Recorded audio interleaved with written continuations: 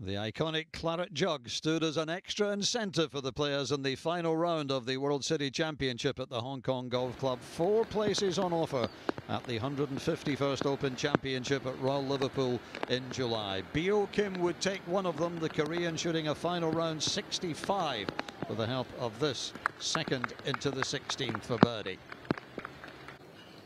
He would add another at the 18th, two birdies in the last three holes. And Kim is heading for Hoylake. So too is Australia's Travis Smyth. Wonderful approach at 13. Didn't quite make eagle, but he made birdie. A run of four birdies in five holes in the early part of the back nine. This was his approach into 14. Really solid round of golf from the tall Australian. He finishes third in the tournament and he'll be at the Open. So too will Michael Hendry of New Zealand. The 43-year-old played very solidly today, a round of 68 to finish second in the tournament.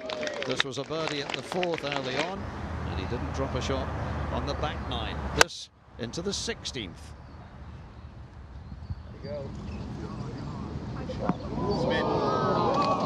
An important birdie at 16 and another at 17. Michael Hendry too is heading for Hoylake. But the tournament champion and making a little bit of history along the way is the 22-year-old from Hong Kong, Taichi Kho. This, the turning point, pitching it at the most difficult hole on the golf course, the ninth. It really was a remarkable performance by the young man who's only been a tour pro for a matter of weeks.